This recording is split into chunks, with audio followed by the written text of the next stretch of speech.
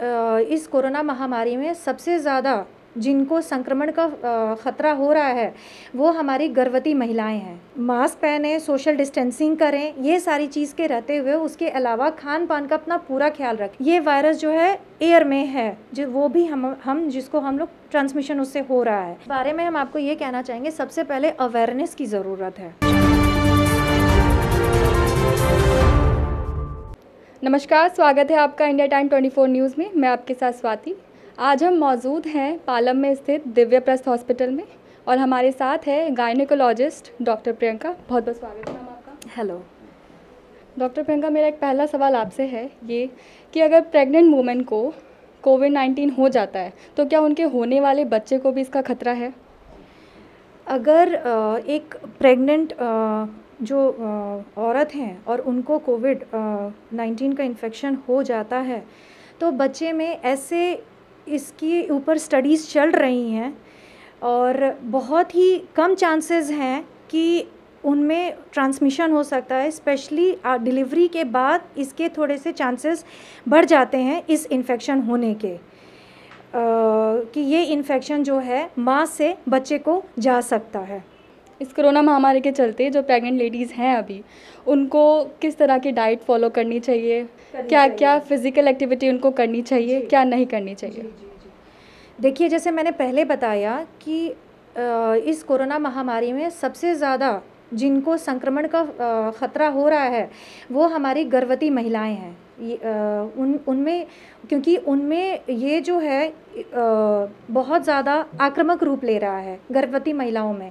इसलिए सबसे पहला ख्याल तो ये रखना होता है कि मास्क पहने, सोशल डिस्टेंसिंग करें, ये सारी चीज़ के रहते हुए उसके अलावा खान पान का अपना पूरा ख्याल रखें। जैसे जिसको हम अपने ये में बिल्कुल ही पौष्टिक आहार लें।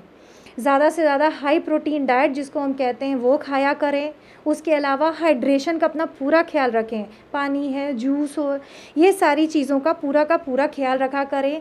पर्याप्त नींद लिया करें, जैसे कि जो कि दिन में दो घंटे का रेस्ट और रात को कम से कम छः से आठ घंटे का अपना जो डेली का दिनचर्या रेस्ट है, वो प्रॉपर नींद अच्छी लें। ये सारी चीज़ों का ख्याल रखा करें। उसके अलावा जैसे आपने बताया कि फ़िज़िकल एक्टिविटी में फ़िज़िकल एक्टिविटी में day to day daily routine जो अपने घर में अपना काम करती हैं, वो थोड़ा बहुत करके अपना बिल्कुल करें। ऐसा नहीं है कि घर में बिल्कुल ही बेड रेस्ट या वैसा हो जाना है। ये उन महिलाओं के लिए स्पेशली हम बता रहे हैं जिनको नहीं ये संक्रमण हुआ है उनके लिए।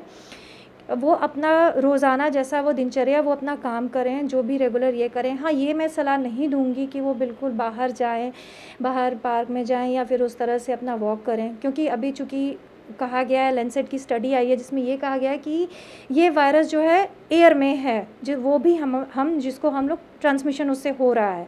तो इसीलिए हम उनको ये तो सलाह नहीं देंगे कि आप बाहर जाएँ, लेकिन घर पे ही बैठ के, नहीं है तो थोड़ी बहुत आसान से अलोम विलोम जो प्राणायाम कहते हैं, योगा कर लिया, ये सारी चीज़ों की जैसे हो गई स्ट्रेचिंग्स हो गए, इस तरह की एक्सरसाइजेस थोड़ी बहुत हल्की फुल्की कर सकती हैं, इसमें कोई दिक्कत नहीं है। ओके मैम मेरा नेक्स्ट सवाल आपसे ये है कि कुछ महिलाओं में, आजकल टीनेजर्स में भी बहुत देखा जा रहा है, जो मैंसुरेशन साइकिल होती है, वो डिले हो जाती है। कभी कभी दो महीने या तीन महीने भी लेट हो जाती है, उनको नहीं आता है। तो आप इसके लिए जी जी, बिल्कुल।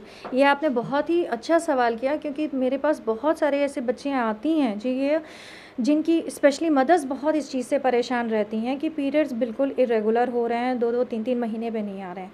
इसके लिए तो सबसे पहले हम यही कहेंगे कि ठीक है, सबसे पहली बात तो पैनिक ना करें स्पेशली पेरेंट्स के लिए भी कि परेशान ना हो।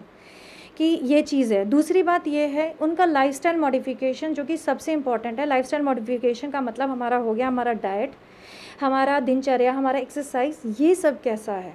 क्योंकि पहले क्या होता था, हमारे खान पान का वो सारे प्रिजर्वेटिव्स वो सारी फैटी चीज़ें, ये सारी चीज़ें नहीं रहती थी। अब क्या हो गया, जो सो कॉल्ड हम जंक फूड्स कहते हैं।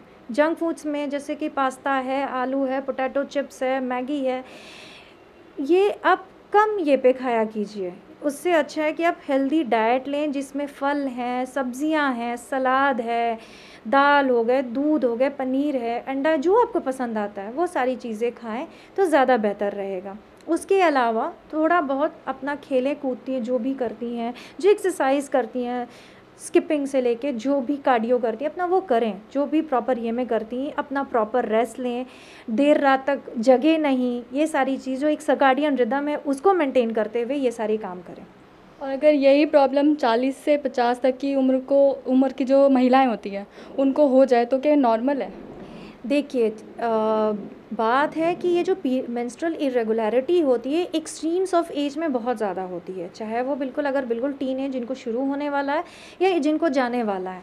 तो अगर हम सिर्फ़ फिज़ोलॉजी पे जाएँ तो आ, जैसे कि उसके लिए कुछ टेस्ट हो गए। वो हम टेस्ट करा के देखते हैं। जिसमें कुछ ब्लड टेस्ट होते हैं, कुछ हार्मोनल टेस्ट होते हैं, वो हम करके देखते हैं। अल्ट्रासाउंड होता है, उसके अकॉर्डिंगली हम लोग स्टार्ट करते हैं। अगर वो सब ठीक रहता है तो उसके, ज़्यादा परेशान होने वाली बात नहीं। स्पेशली अगर क्योंकि जो मेनोपॉज का एज है हमारे उसको हम लोग कहते हैं कि 45 टू 50 इयर्स तक के एज में वो होता है। तो अगर उस समय हो रहा है तो कोई दिक्कत वाली बात नहीं है। लेकिन अगर वही चीज़ आपको परेशान कर रहा है पीरियड्स में इरेगुलरिटी है और वो 40 से पहले ऐसी वाली दिक्कत आ रही है, तब उसके लिए थोड़ा हम सतर्कता से ज़्यादा सोचते हैं। अपना वो सारी चीज़, सारे टेस्ट वो सारी चीज़ कर, करके हम लोग वो सारा देखते हैं। अगर सब ठीक रहता है तो उसके अकॉर्डिंगली बस हम लोग को मैनेज करना होता है। मैम कुछ महिलाओं में ना ब्रेस्ट पेन होता है पर वो उनको इग्नोर कर देती हैं। पर वो आगे चलकर ब्रेस्ट कैंसर जैसी बीमारियों को जन्म देती है। तो हाँ, आप इस, इस बारे में हम आपको ये कहना चाहेंगे सबसे पहले अवेयरनेस की ज़रूरत है। हमारे सोसाइटी में ना और ये अवेयरनेस कहीं से भी शुरू हो सकती है, छोटे स्केल से लेके बड़े स्केल तक। स्पेशली जैसे कि हमारे हॉस्पिटल में जो भी महिलाएँ आती हैं स्पेशली जो भी हम पेशेंट्स को देखते हैं, हम उन लोगों को कुछ पॉइंट चीज़ों के बारे में ज़रूर बताते हैं। अब जैसे आपने जैसे ब्रेस्ट पेन के बारे में बताया ब्रेस्ट पेन के तो वैसे मल्टीपल कॉजेज़ हो सकते हैं। अगर एक मदर लेक्टेटिंग है, जो दूध पिलाती है, उसमें भी हो सकता है, उसका कॉज अलग हो जाएगा। कुछ महिलाएँ जो पेरीमेनोपॉजल मतलब जिनके पीरियड सब जाने वाले हैं, उस टाइम में भी मस्टालजिया होता है, उसके भी ये होते हैं।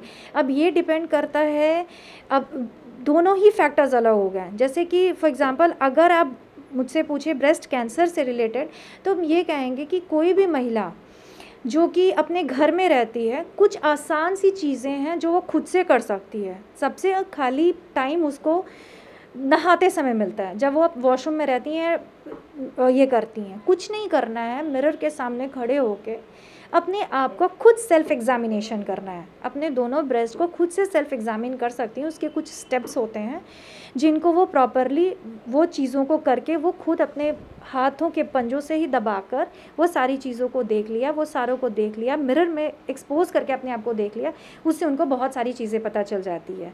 अगर इसमें, अगर उन्हें कभी कोई गाठ या फिर किसी तरह का डिस्चार्ज चाहे वो पानी जैसा हो या फिर दूध जैसा हो या फिर ब्लड जब कुछ भी हो तब तो उन्हें अपने डॉक्टर से ज़रूर मिलना चाहिए एक बार इवेल्युएशन के लिए।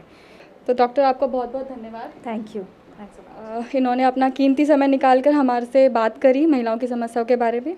तो क्या मैं जर्नलिस्ट नीरज के साथ Swati India time twenty news. नमस्कार। खबरों से खबरदार रहने के लिए चैनल को सब्सक्राइब करें और प्रेस करें बेल आइकन।